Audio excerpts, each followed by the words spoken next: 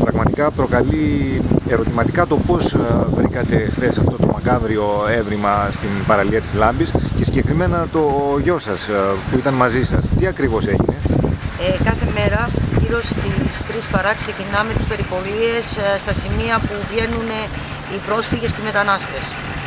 Ε, σήμερα γύρω στις 3 παρα 10 είμαστε στην περιοχή στο Φάρο στο ξενοδοχείο Πέλαγος. Τα ξημερώματα Τα ξημερώματα.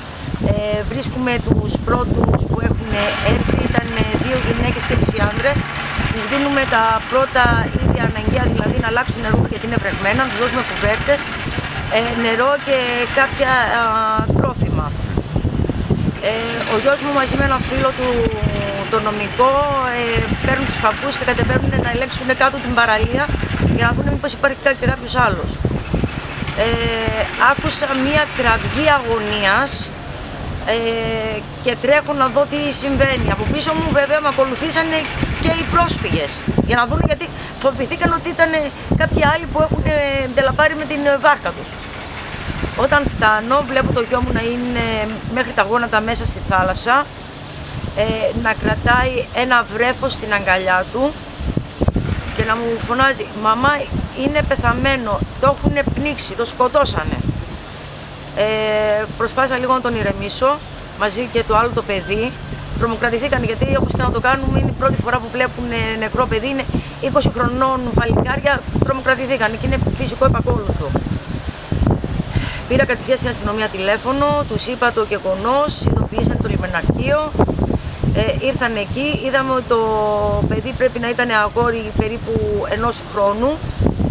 Δεν φορούσε σωζήφιο, δεν ξέρουμε αν οι γονείς του ζουν ή αν έχουν πνιγεί και εκείνοι. Δεν, ξέρουμε, δεν έχουν πληροφόρηση μάλλον αν έχει γίνει ναυάγιο τις, ε, τις προηγούμενες μέρες γιατί το τελευταίο ναυάγιο έχει γίνει στις 27 του μήνα αλλά το παιδί δεν δείχνει να είναι στο νερό παραπάνω από 48 ώρες ε, και αυτό γεννάει κάποια ερωτηματικά. Φορούσε τα ρούχα του κανονικά; Ναι, ναι, φορούσε τα ρούχα του κανονικά, απλά δεν φορούσε σουσίβιο. Στη συνέχεια ήρθανε, το παραλάβαν, το πήγαν στο νοσοκομείο και τώρα περιμένουμε την νεκροψία. Ε, να δούμε πότε έγινε το περιστατικό και για να μπορέσουμε το αγγελούδι αυτό να το θάψουμε και να ηρεμήσει η ψυχούλα του. Οι πρόσφυγες οι οποίοι είχαν έρθει εκείνη την ώρα γνώριζαν κάτι από τα απέναντι παράλια, είχαν κάποια πληροφορία; Όχι, δεν είχαν γιατί από το σημείο που, μείναν, που βγήκανε μάλλον τα παιδιά, από εκεί που βρήκαμε το παιδί η διαφορά ήταν 100 με 150 μέτρα. Μάλιστα. Οπότε... Στο Σκανδάρι συγκεκριμένα το βρήκατε; Ε, όχι. Ε, είναι στο φάρο, στο ξενοδοχείο το, το Πέλαγος, που είναι γύρω στο ένα χιλιόμετρο από το Σκανδάρι. Μάλιστα.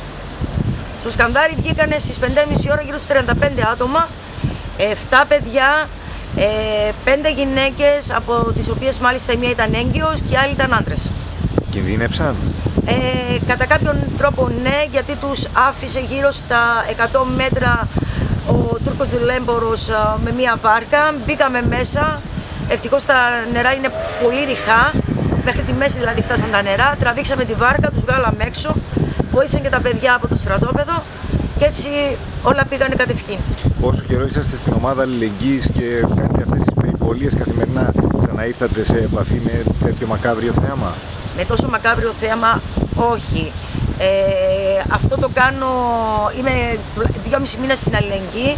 Ε, τις περιπολίες τις ξεκίνησα εγώ πριν ένα μήνα, μόνη μου.